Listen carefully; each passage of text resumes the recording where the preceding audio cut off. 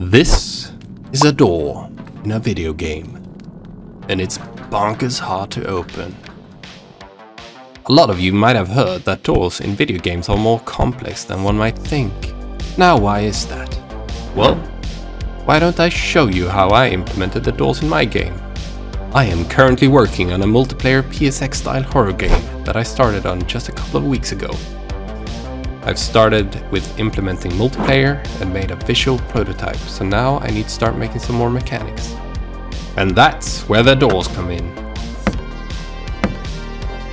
Okay, so the first thing we want to do is let the player know that they can interact with the door. Or they'll just be wandering around looking at doors all day and wonder, what is this peculiar looking thing that resembles a door? Now, I don't want to clutter up the entire screen with UI, but instead will implement a highlight on objects that they can interact with when they are looking at them.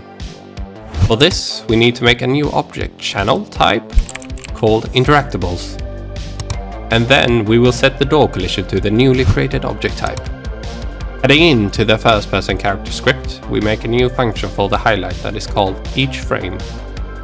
This script simply sends out a line trace from the camera to small distance towards what the player is looking at. And if it hits an interactable object, it will draw a white line around it. Stella. Now we know we can interact with it. But why isn't anything happening? Oh, right.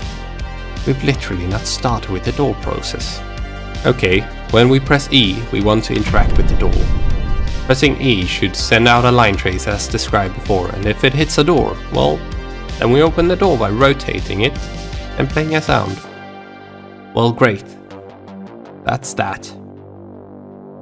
Now let's also close it. I said let's close it! Okay. We need to make it so that if we press it again while it's opening, it should reverse the animation from the same point. We'll add this flip-flop node that alternates animation direction every time the door is pressed. Okay, great, it's now working. Now let's see what happens if we add another door that's rotated another direction. Fuck! Okay, we can fix this. Let's just get the start rotation of the door when it is spawned in game and add it onto the animation rotation. Perfect. And that's how doors are made. Shouldn't you add keys to the game? Yes, yes, okay. Let's add keys. For that, we will need a list of keys. In this list, we can add specific keys, like key to the bathroom door, or kitchen door, or the key to my heart, etc. I mean, uh, for the door script, we need to add a variable for the specific key that it needs and put in the key that we want. We also need to add a list of keys to the player's variables to keep a check on what keys the player actually has. Now we need a key though. Blender time! I headed into Blender and made a key model. I dropped it in Unreal and made a quick blueprint for it that simply keeps a check on what key it is. Now when we try to open the door we just see if we can open it first. This function simply checks if it needs a key at all and if it does it checks if we have the key for the door that we try to open by comparing the keys to the required door key. Now we can only open the door if we have the right key. However, nothing happens if we can't open it. We need to let the player know that they can't open it or they'll get pissed off. Like, uh, what is this buggy ass game? To solve this I just made a simple animation for the handle that shows that it's been pulled whenever someone tries to open it. And that stalls. Now let's play with our friends. Yo, where did you go? What do you mean, the door is open? It's not open for me. Replication. Okay, so uh, to get this to work for multiplayer, we need to make sure that uh, the relevant things for all players are replicated between the server and its clients. All the players can now see that the doors are open. Brilliant. Uh, let's just ignore the fact that uh, clients can't hear some sounds for some objects, uh, it's just minor inconveniences. Other than the doors, I've introduced more functionality. Among other things, I've added drawers and cupboards. Uh, these actually build on the blueprints for the doors and were quite easy to implement. and uh, they therefore worked immediately for multiplayer too. I said they worked immediately.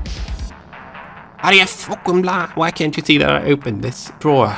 So I thought it would work immediately, since it builds on the same principles and uh, basically uses the same scripts. But the clients uh, would not interact with anything except the doors.